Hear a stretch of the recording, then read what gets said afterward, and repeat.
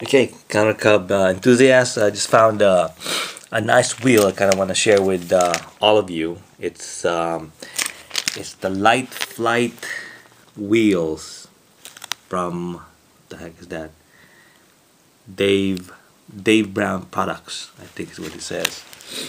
So uh, sorry, got a little out of focus there.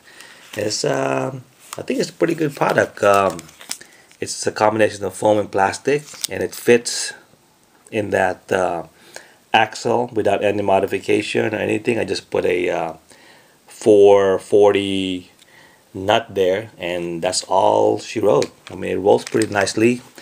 I had this 3 inch um, what is it called skylight but uh, as you can see it's fat and it's heavy because it's uh, uh, plastic and um, when I started flying with it, it felt um, very sluggish because it is very heavy and uh, it does require a lot of, uh, not a lot, but some modification to fit in here.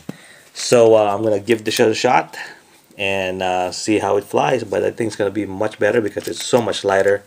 It almost feels as light as the original wheels and this is uh, 3 inches. Alright?